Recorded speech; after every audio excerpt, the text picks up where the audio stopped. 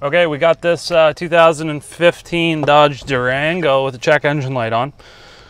This has the 3.6 liter Pentastar V6. We are going to give her the old code scanneroo. Oh, looks like we got a P0300 and P0301, which are multiple cylinder misfires and cylinder number one misfire. So that's definitely going to cause the check engine light to come on. By the way, if you're wondering, I'm uh, testing out these sick goggles. We'll have a link in the description below if you want to buy some. Anti-fog. I don't think they're uh, safety goggles at all, but they're cool. Anyhow, back to the scanning. Doesn't look like we have any other codes. She's got a clean bill of health. Oh, looks like we got one front door mode uh, number two control performance. Probably needs an actuator. They go bad on these all the time. But we're not here for the actuator. We're here for the misfire. So let's head out to the front of the vehicle here.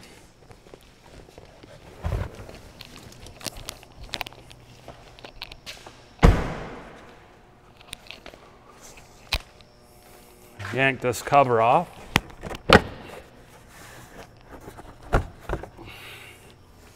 So we have cylinders one, three, and five, and two, four, and six on this side. So cylinder one's right here, but we did have a multiple cylinder misfire. So that makes me suspect that it may need plugs.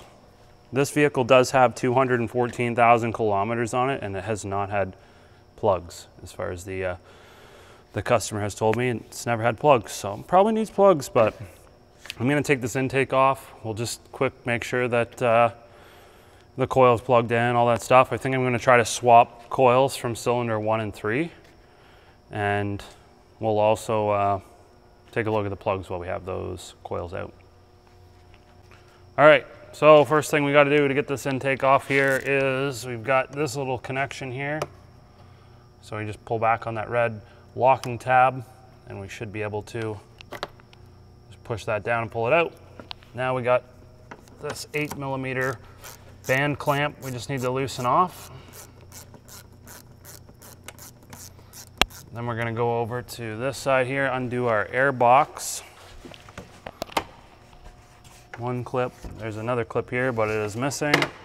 Undo this PCV hose, it's just pressed on that. I just set that there. Now there's a, a, Christmas tree style retaining clip for this wiring harness. It's already uh, disengaged, we'll say. Work this air box up.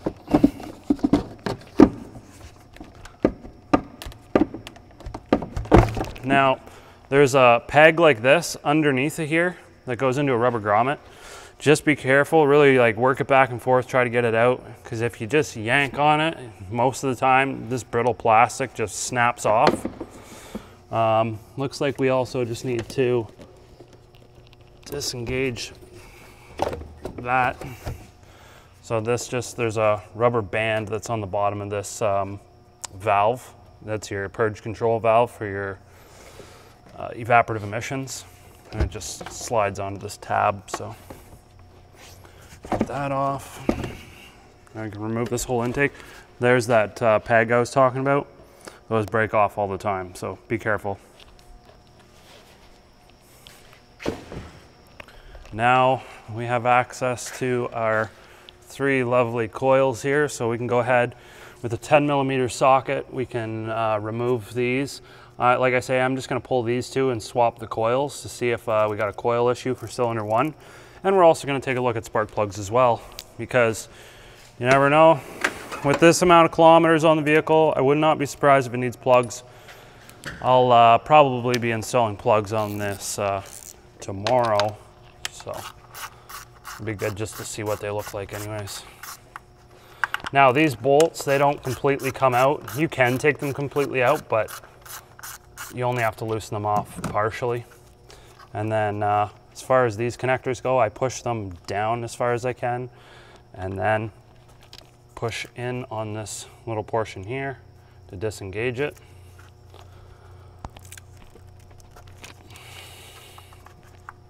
And now we can pull that up. We can inspect the coil.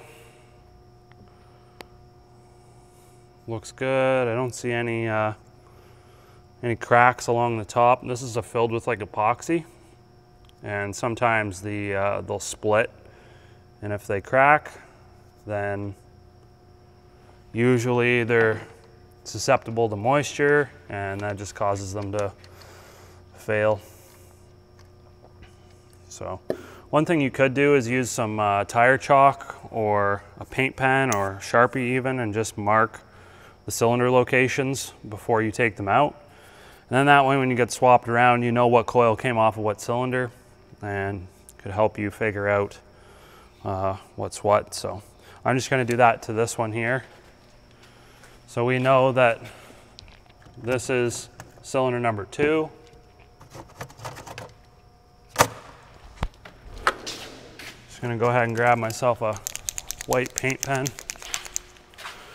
These are super handy to have, by the way. So let's say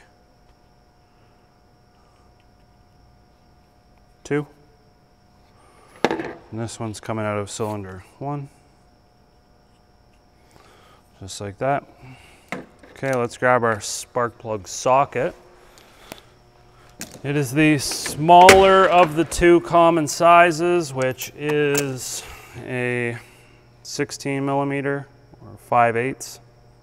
Uh, spark plug socket has the rubber in the center to capture the plug. You can also use just a regular socket and a magnet if you have if you don't have a spark plug socket. Not a big deal. Make sure that's down and seated on there. I have seen where these spark plugs come loose, not on this specific engine, but I've seen um, the GM 1.8 turbo that's in the uh, Chevy Cruze. I've seen two of those Cruzes come in where spark plugs actually came so loose that vehicle started to, uh, it sounded like it had a knocking noise and it was, uh, spark plugs were pretty well right out of the threads. So there we go. We can see the, uh, the electrode there and this grounding electrode looks fairly worn. I would say that gap is probably very excessive definitely time for a new set of plugs. You can see, if you zoom in on that, you can see quite the, uh, the angle. Like that should be very uh, square at the end of that, but you can see how it's, uh, it comes to like almost a sharp point. So those plugs are definitely worn. Another thing you can look at too, you see all the rust that's on there. That's another sign that they've been in there for a long time. These champions are original plugs. And uh, one other thing you can check for when you have a misfiring vehicle is uh, a carbon trail from where the plug's been uh, obviously not grounding out properly and uh, you'll actually see like a black line on the side of the uh, porcelain. So um, we're just gonna pull this other plug out beside the neighboring cylinder. See if it looks, probably looks the same, I'm guessing.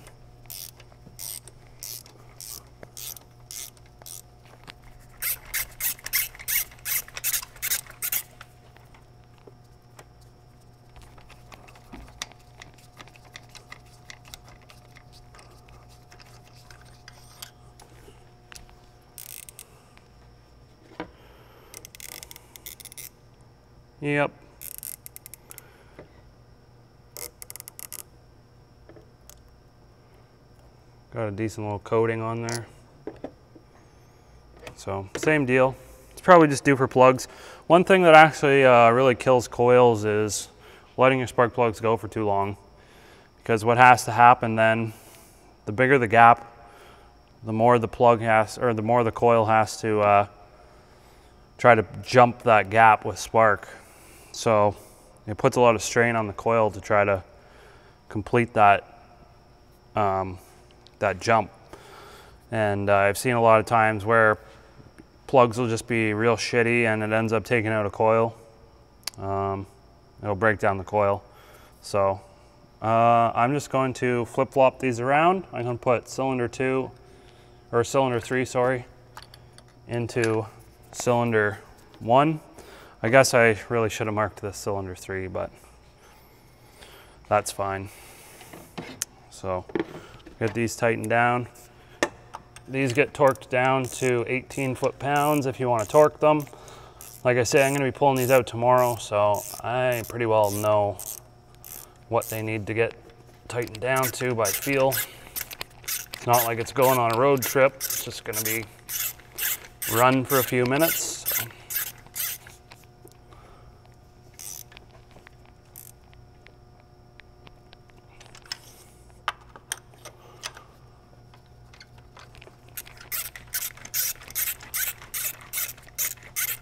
Another tip that I have for determining where cylinder one is is most of the time you can safely assume that the positions of the valve covers you can see one head is further ahead than than the other. So it's always the uh, the head of the engine that's further ahead is usually cylinder one. And that's pretty well most cases for all modern engines. I would, uh, if you're unsure and you need to figure out what cylinder you're going after, obviously uh, look it up, but go ahead and uh, plug this in. Get this one on here.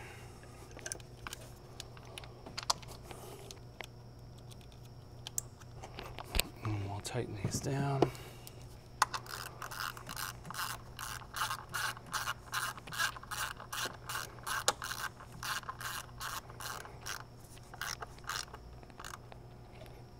Just snug on those ones, they don't need to be crazy tight.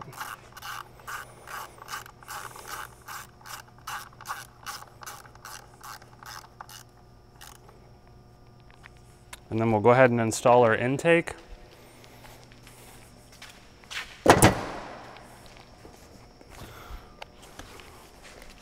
One thing I like to use on this uh, rubber grommet where that intake clips into is a little bit of silicone spray. This makes the rubber very slippery, aids in installation, prevents things from getting broken. So I also just reach under there with my hand to make sure that that, that dowel piece is in the correct position.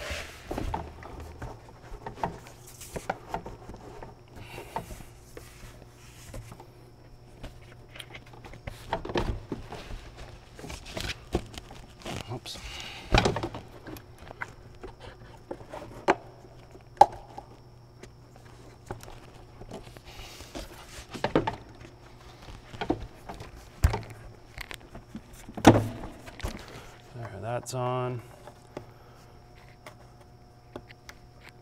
That guy's in.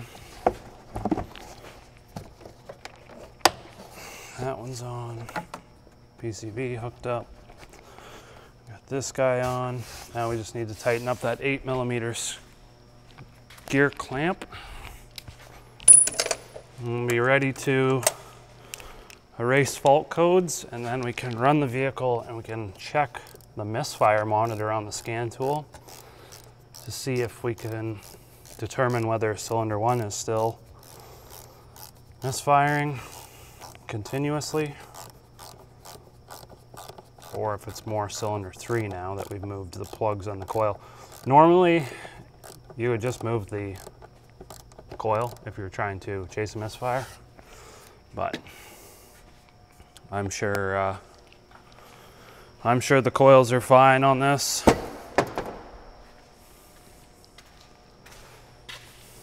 So we'll hop in the vehicle here.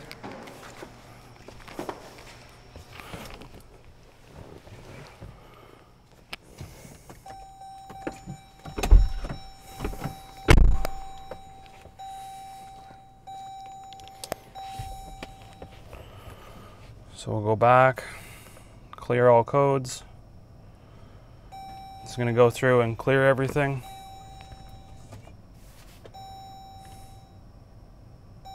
This thing has quite a few modules in it. A lot of modern stuff. You're gonna be running 20 plus modules. I know BMWs and higher end vehicles, I've seen upwards of 80 modules, which is craziness, but that's the way that everything's going. You got so many different uh, departments in the vehicle. So it's gonna take a little bit of time to go through everything. There you go. We had 20 systems in this vehicle. We've cleared everything out. So now we can go to engine. We want to see data now. And we should have a misfire monitor under ignition.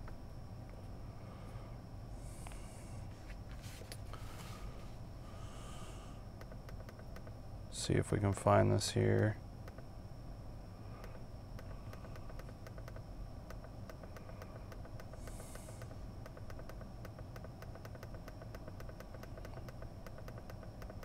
I'm just reading all the uh, titles up top. Doesn't look like we have that in here.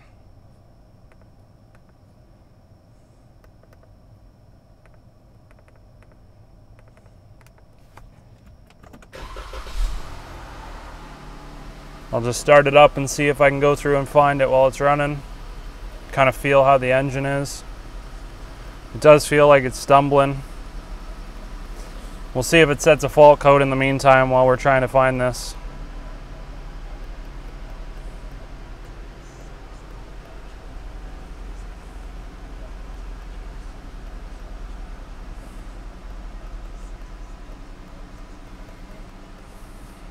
Sometimes it has, uh, like I know a lot of vehicles will have a misfire monitor where it's going to show all the different cylinders and uh, whether or not it gives you sort of a, a count on uh, successful ignition events.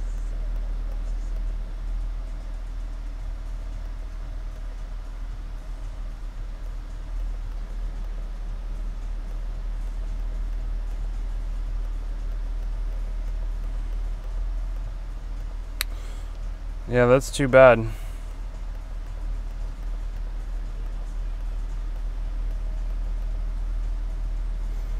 Well, guess we uh, pretty much at this point run it and then uh, see what fault codes come back. I'm going to uh, safely assume that it needs plugs based on our inspection. So now to do plugs on these, uh, we got to pull the intake off. Not like a Hemi where you can get to it without having to pull the intake. These V6s, the intake droops over the one side, which covers up uh, 2, 4, and 6 which is the driver's side.